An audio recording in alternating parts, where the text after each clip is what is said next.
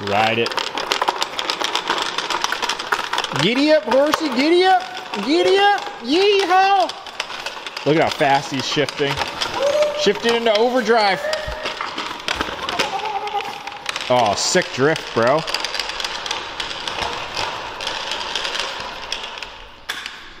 All right.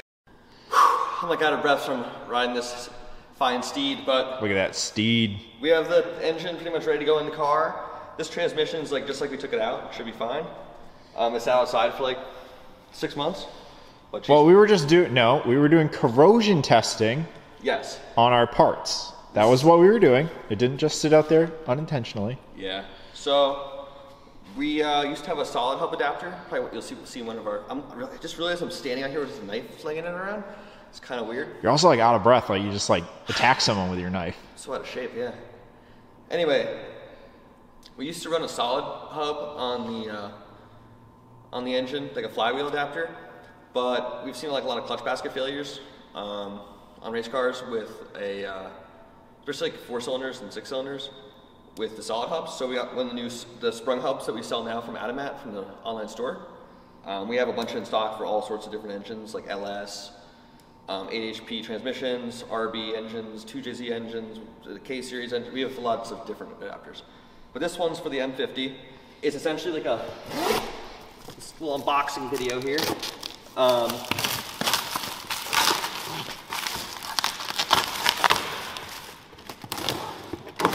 it's like a spacer plate between the engine and transmission and a sprung hub flywheel.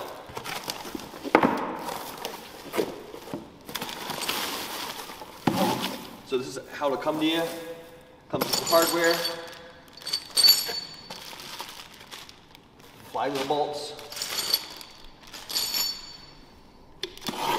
Get down here in the action. Yeah, it's like Christmas. You have the billet uh, spacer plate. Um, there's no need to use the printed metal dust shield anymore. These are like dust shield covers, so you're good to go there. And then probably the most important part is the sprung hub flywheel.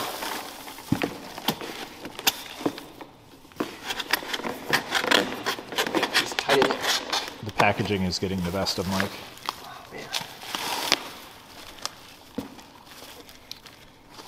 That's not the lightest thing to pick up with your fingers. Nice use of the floor.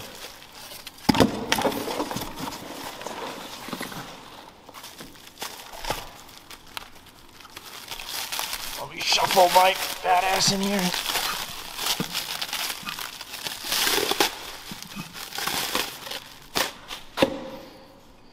All right, so this is a sprung hub flywheel.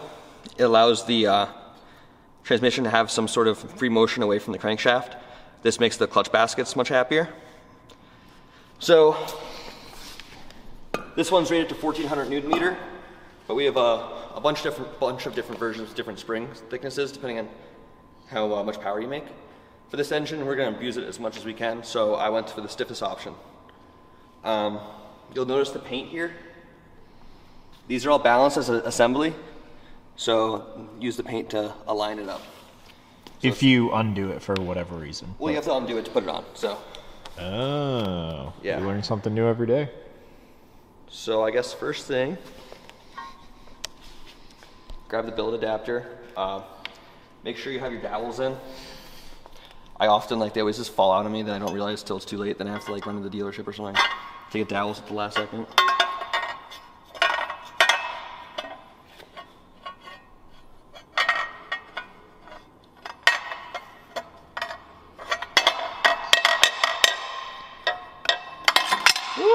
It's kind of an awkward height for both of us. We're like half on the ground, half off the ground. Like, like half squatting. All right, cut that. Go to this one.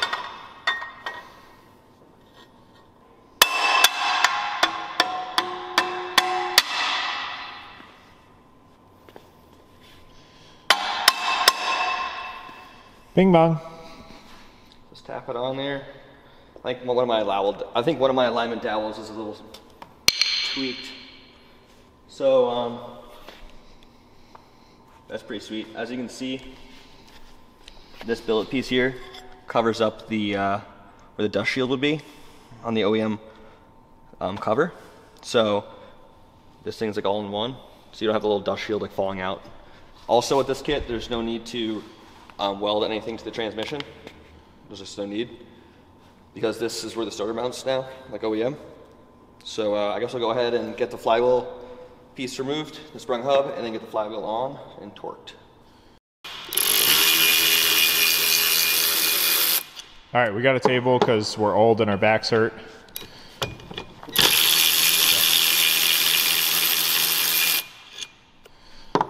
So these shoulder bolts are pretty cool because the shoulder goes into the flywheel so that none of the force is taken by the threads. It's all just taken on the shaft.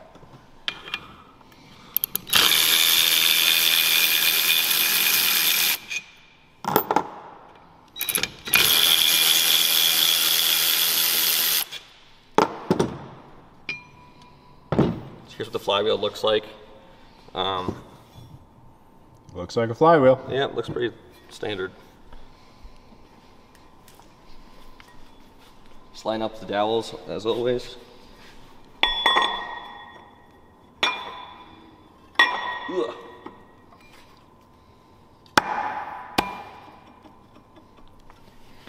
Want this good old rubber mallet? Yeah, just get your little tap on there. Little tap, tap, taparoo. Shooter McGavin. Like that. So now we grab the uh, included crank bolts.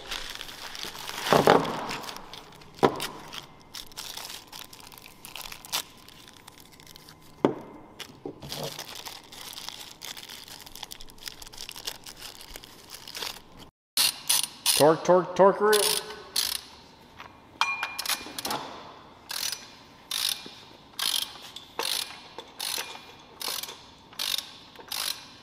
So I get to be on this side holding the crank. Mike gets to be on that side tightening the crank. Yeah. So do we know what torque we want to go to yet? Yeah, I think we do the 120.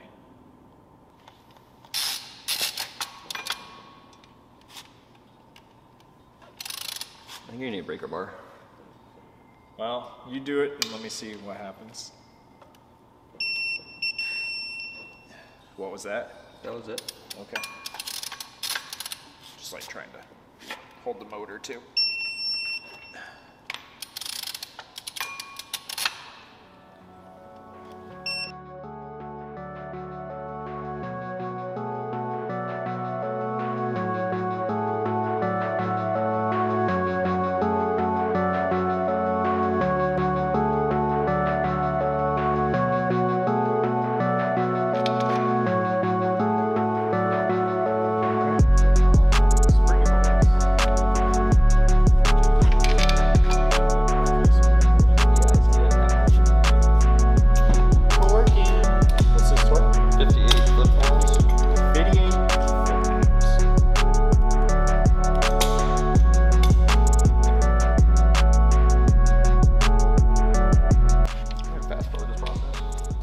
Ha ha ha.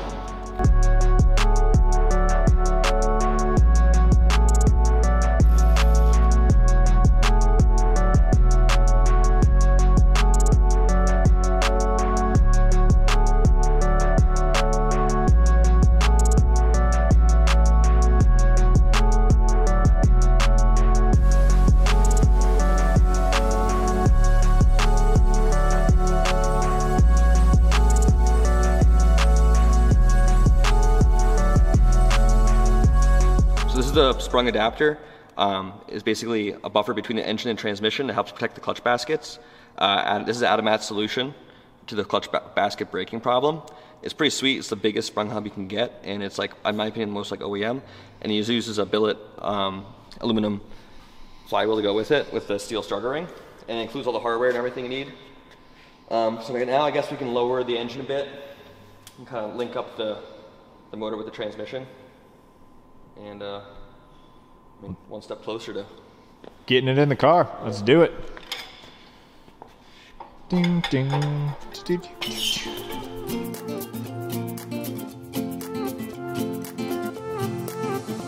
new place, a new home for a while. Let me feel alive.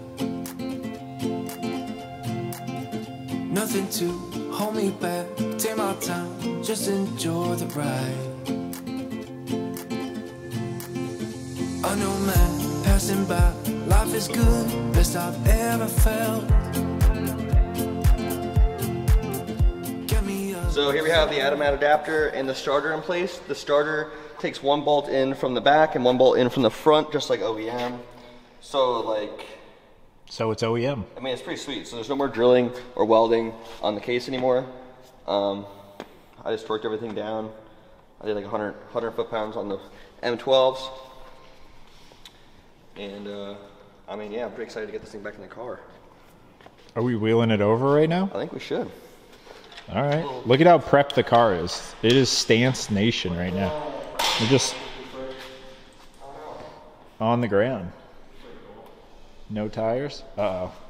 Mike broke something. What'd you break? What is it? What is it? It's a pressure transducer for somewhere. Uh, I don't.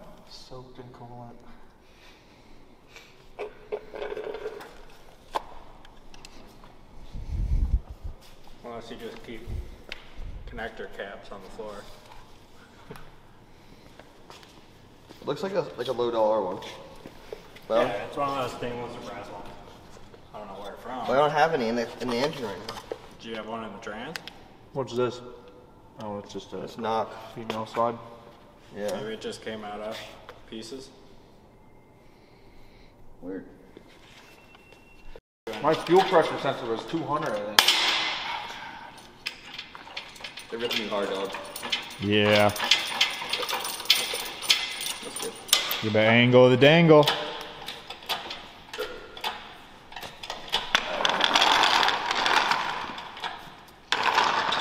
Don't get it too high because.